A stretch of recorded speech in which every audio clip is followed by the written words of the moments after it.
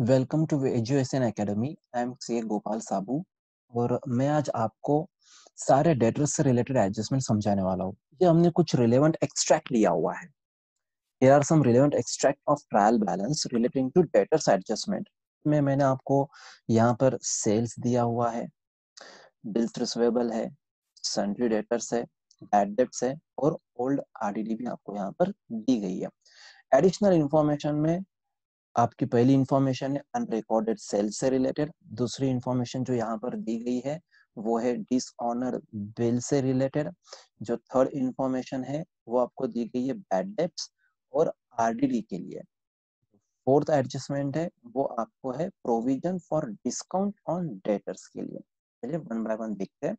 इनका किस तरह से ट्रीटमेंट होता है आपके final account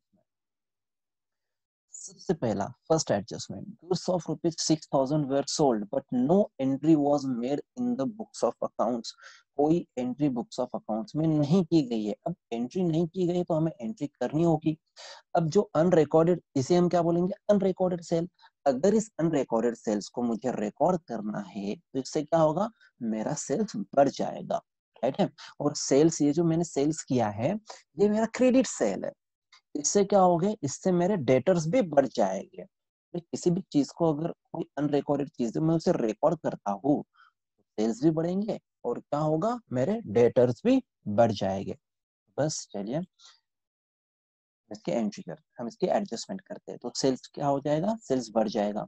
Sales is given how much one lakh seventy three thousand हम इनर कॉलम में लिखेंगे one lakh seventy three thousand add unrecorded sale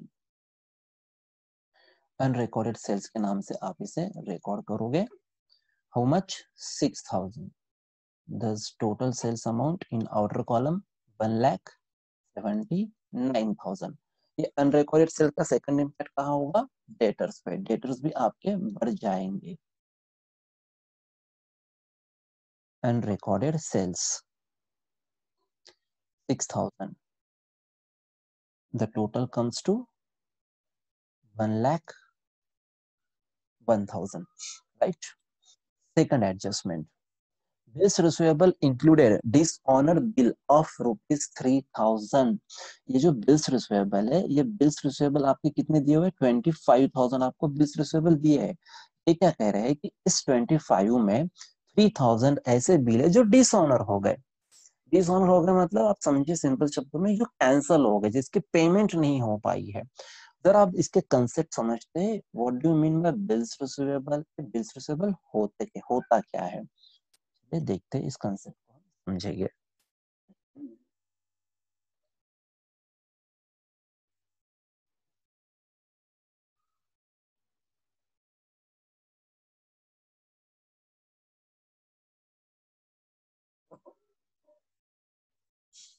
देखिए ए ने क्या किया यहाँ पे? बी को गुड सेल किया।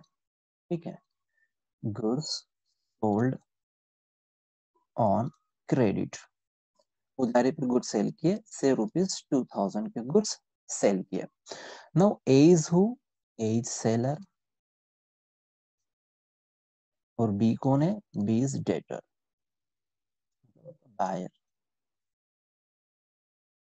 buyer ही कौन होगा? आपका डेटर होगा। राइट है? अब ए को बी पे ट्रस्ट नहीं था कि भाई पैसा उधार तो ले जा रहा है, पर पैसा आएगा कि नहीं आएगा? मुझे पैसा देगा कि नहीं देगा? तो ए क्या करता है? ए इस पर एक बिल निकालता है, एक बिल ड्रॉ करेगा। कागज़ देगा, उस पर लिखेगा पे टू मी आपको मुझे पे करना है विद इन थ्री मंथ्स तीन महीने में आपको पे करना है, और जो भी उसके कहाँ पे करना है एंड ऑल ये इसमें वो बता देगा उसमें। और ये बिल किसको भेज, दे देगा? बी को भेज देगा। For what for acceptance no B क्या करेगा? बिल इसे एक्सेप्ट करेगा। बी से क्या करेगा? एक्सेप्ट करेगा। इस पे लिखेगा एक्सेप्टेड और इस पर वो अपनी साइन कर देगा। तो ये बिल क्या हो गया? बी ने एक्सेप्ट कर लिया। नाउ बी पे ऑब्लिगेशन आ गया है कि जो यहाँ पे डेट मेंशन की गई है, उस ड्यू डेट को बी को ये पैसा ए को देना ही होगा और ए भी अब रिलैक्स हो गया है कि उसे पैसा डेफिनेटली मिल जाएगा। है? तो बी क्या करता है? इस बिल को एक्सेप्ट करता है और ये बिल किसको दे देता है? ए को देता है। राइट है? आफ्टर थ्री मंथ्स जब ड्यू डेट आएगी, तब ए किसके पास जाता है? बिल का पैसा लेने के पास बी के पास जाएगा। और अपना पैसा डिमांड करेगा राइट है? अब ये जो बिल है, जो ए के पास है, ये बिल जो ए के पास है ए के पॉइंट ऑफ़ व्यू से ये बिल क्या हुआ? बिल रिसीवेबल क्यों? क्योंकि इस बिल के बेसिस पर ए को बी से पैसा आने वाला है। और बी के लिए ये बिल क्या कहलाएगा? बिल्स पेबल कहलाएगा। मतलब कि अब बी को इस बिल का पैसा बी को देना है राइट है that's why it's bills payable for B ठीक है? यहाँ तक क्लियर है आपको? अब आगे बढ़ते हुए कुछ बातें और समझते हैं।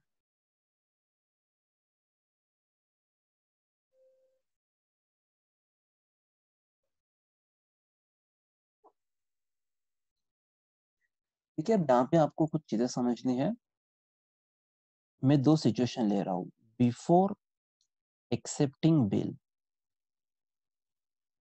before accepting bill and after accepting bill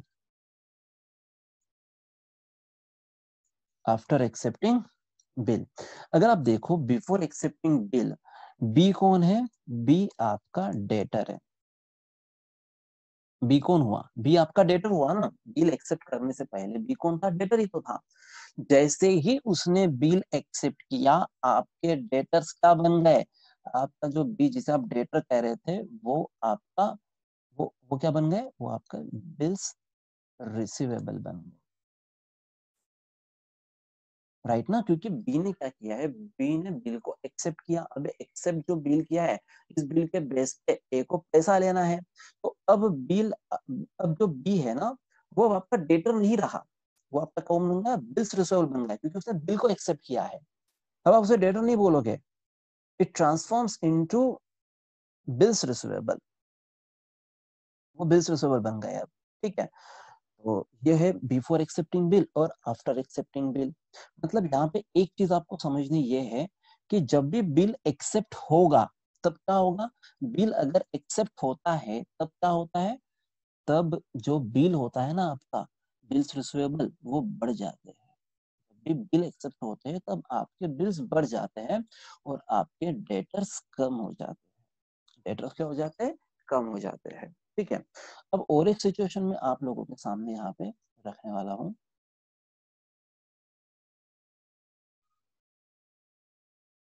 Before dishonour before dishonour of bill after dishonour of bill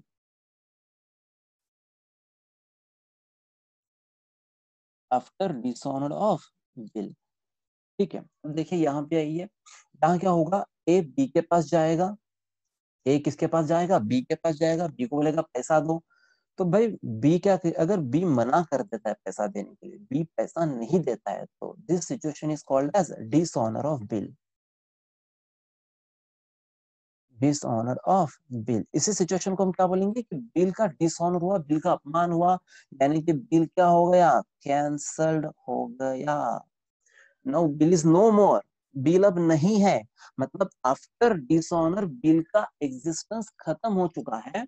before dishonour bill का एग्जिस्टेंस था। तो बिफोर डिसऑनर ये जो आपकी पार्टी थी बी ये किस फॉर्म में थी आपके पास? बिल्स रिसीवेबल के फॉर्म में थी। लेकिन जैसे ही ये बिल डिसऑनर हो गया, ये बिल कैंसिल हो गया बी ने मना कर दिया पैसा देने के लिए, वैसे ही बी क्या बन जाएगा?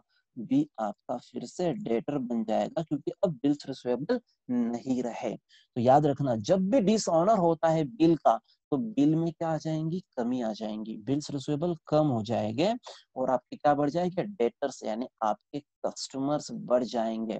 और यही हमारी एडजस्टमेंट नंबर टू है डिसऑनर ऑफ़ बिल तो डिसऑनर ऑफ़ बिल में होता क्या है? बिल्स रिसीवेबल कम हो जाएँगे और आपके डेटर्स बढ़ जाएँगे।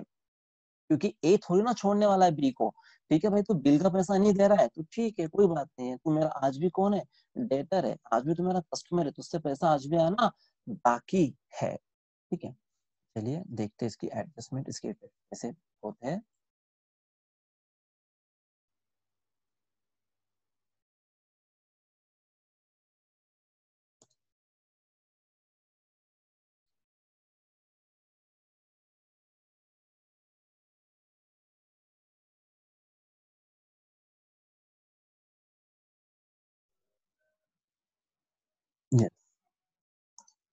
देखिए तो क्या करोगे आप? बिल्स रिसेबल से लेस कर दोगे, सो लिखिए dishonour of bill.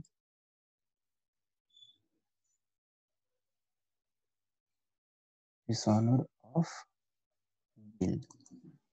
How much देखिए, यहाँ पे दिया हुआ है आपको। Bill dishonour is what? 3000 3000 आप लिखोगे।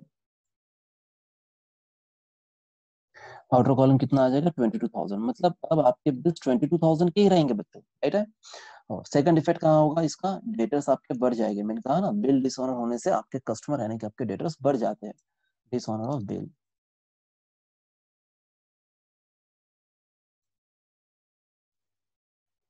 three thousand. The total comes to one lakh four thousand. Next, write off four thousand. Third adjustment. Write off four thousand as bad debts and maintain RDD five percent on sundry debtors. Four thousand आपको bad debts बोल के क्या करना है?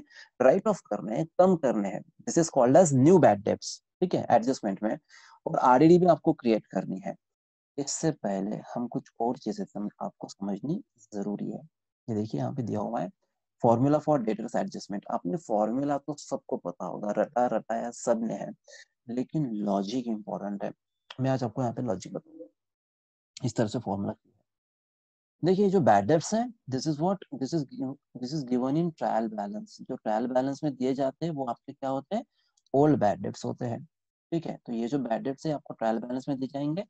Old bad debts means what? They occur before preparing the trial balance. Trial balance बनाने से पहले ये एडजस्टमेंट हो जाते हैं। इसीलिए इसको हम क्या बोलते हैं? ओल्ड बैड डेट्स जो आपको ट्रायल बैलेंस में मिलते हैं। इनकी जगह कहाँ पे है? इनकी जगह है ट्रायल बैलेंस में। सेकंड होता है आपका न्यू बैड डेट्स ये आपको कहाँ दिए जाते हैं? ये आपको एडजस्टमेंट्स में दिए जाते हैं। जो एडजस्टमेंट्स में बैड डेट्स है they occurred after the trial balance is prepared जब ट्रायल बैलेंस बन जाता है और बाद में हमारे समझ में आता है कि, अरे, और भी कुछ हमारे डेटर्स ने हमें डुबोया है, हमारे डेटर्स ने हमें पैसा नहीं दिया है, कुछ इरिकवरेबल डेप्स है। आप उसे क्या करते हो? आप उसे एडिशनल इंफॉर्मेशन एंड एडजस्टमेंट में लिखते हो। जैसे कि आप जानते हो एडजस्टमेंट्स के दो इफ़ेक्ट होते हैं। One is debit one is credit क्योंकि अभी तक तो उसे हमने रिकॉर्ड नहीं किया। लेकिन जो ट्रायल बैलेंस में आ चुका है, वो ऑलरेडी रिकॉर्डेड है। इसलिए उसका एक ही इफ़ेक्ट होता है। तीसरी चीज़ आपको यहाँ मिलेगी न्यू आरडीडी ये न्यू आरडीडी क्या होती है? तो इसे समझिए ये आपको दी जाती है एडजस्टमेंट्स में। मतलब what do mean by new RDD it's expected loss in current year ये आपका एक्सपेक्टेड लॉस होता है करंट ईयर का। चलिए, लेकिन इससे पहले हमें ये समझना ज़रूरी है, ये आरडीडी बनाई क्यों जाती है, इसके पीछे लॉजिक क्या है? इसके पीछे आपको अकाउंट्स के दो कंसेप्ट मिलेंगे। टू कंसेप्ट दो कंसेप्ट इसके पीछे जो आपको समझने हैं। One is concept of conservatism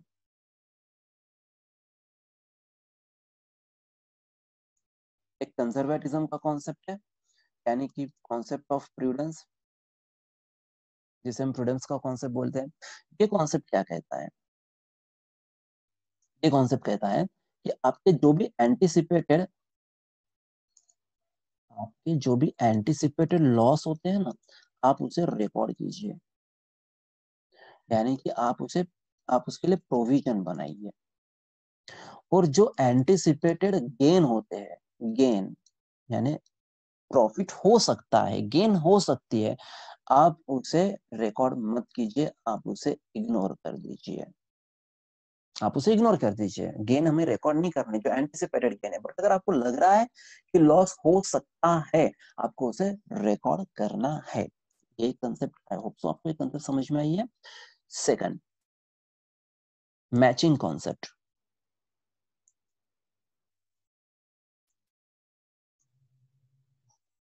matching concept क्या कहती है कि आपने जिस साल आपने आपका इनकम बुक किया है ना उसी साल में आपको उस इनकम से रिलेटेड एक्सपेंसेस भी बुक कर देने हैं।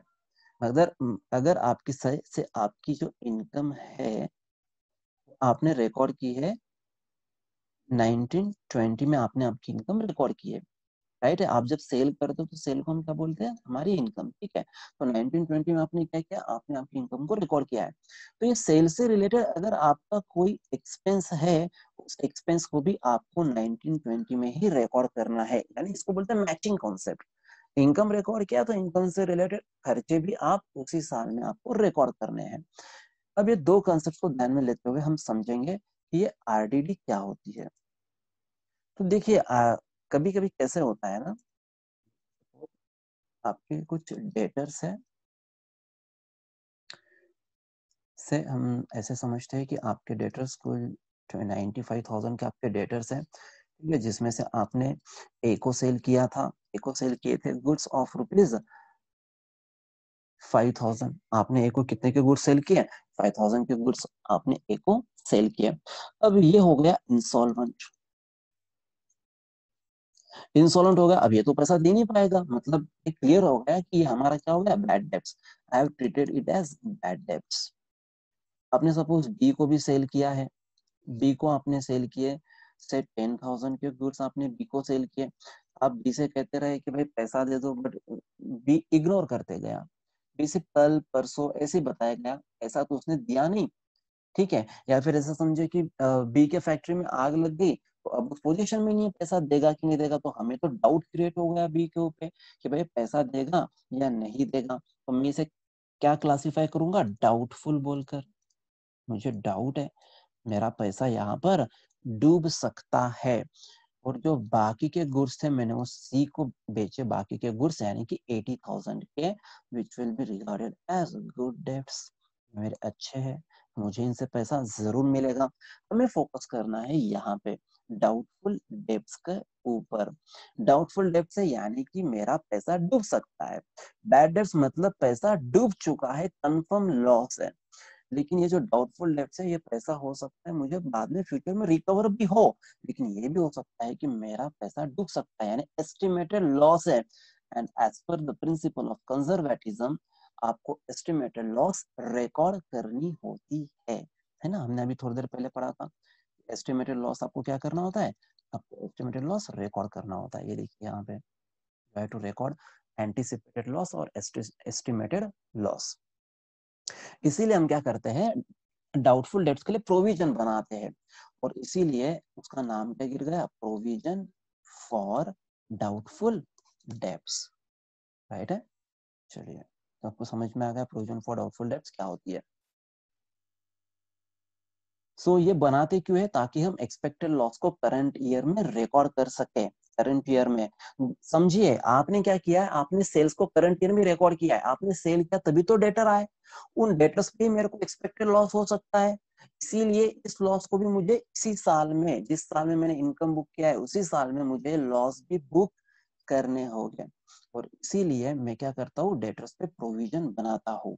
बट ये जो प्रोविज़न बनती है, ये प्रोविज़न आपकी बनती है against the collection of debtors in next year बात समझिए, आप थर्टी फ़र्स्ट मार्च को प्रोविज़न बना रहे हो और आपके डेटर से जो ये जो डेटर्स है, जो आपको लगता है कि ये डेटर्स डुबा सकता है, ये डेटर से कलेक्शन कब होने वाला है? नेक्स्ट ईयर नेक्स्ट ईयर आप इनसे कलेक्शन करने वाले हो।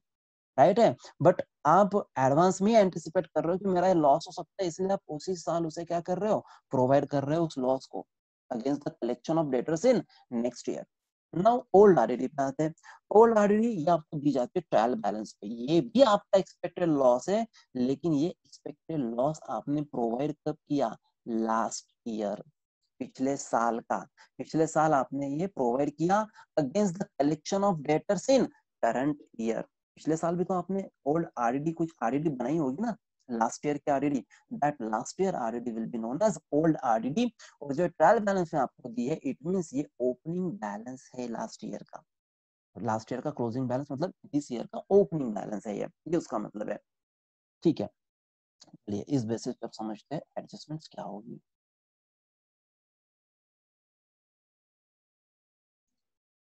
यहाँ पे आपको बोला है write off four thousand as bad debts आपको चार हज़ार बैड डेट्स बोल के क्या करना है? राइट ऑफ़ करना है। फोर थाउज़ेंड बैड डेट्स है आपके मतलब क्लियर कट लॉस है। तो ये लॉस से क्या होगा? मेरे डेफिनेटली मेरे डेटर्स कम हो जाएँगे। I will deduct from debtors new bad debts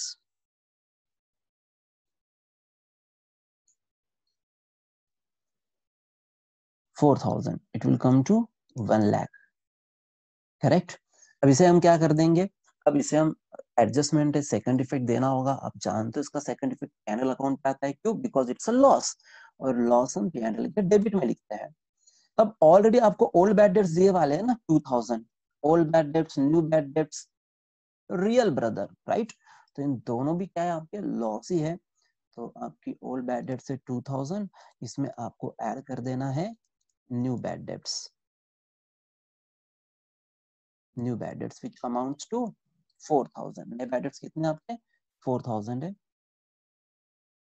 fine next उसमें, उसी में बताया गया है कि RDD five percent on sundry debtors आपको reserve for doubtful debts create करना है। प्रोविज़न क्रिएट करनी है आपको पाँच परसेंट किसके डेटर्स पे। सवाल उठता है, सर, कौन से डेटर्स ले? ये वन लाख ले या वन लाख फोर थाउज़ेंड ले या ये ले ले कौन से? तो बच्चों, आपको जो क्रिएट कर रही है ना आरडीडी वो वन लाख पे आपको क्रिएट कर रही है। व्हाट इज़ द रीजन क्योंकि देखिए वन लाख ही है जो वन लाख ही हमें डाउटफुल है। ये वन लाख में से ही पाँच परसेंट ऐसे जिनका हमें डाउटफुल है, जो डाउटफुल है वन लाख ये वन लाख फोर थाउज़ेंड नहीं, क्योंकि इसमें के फोर थाउज़ेंड तो ऑलरेडी डूबा चुके हैं उन पे हम डाउट कैसे कर सकते हैं? तो वन लाख ही है जिसमें से पाँच परसेंट पे हमें डाउट है।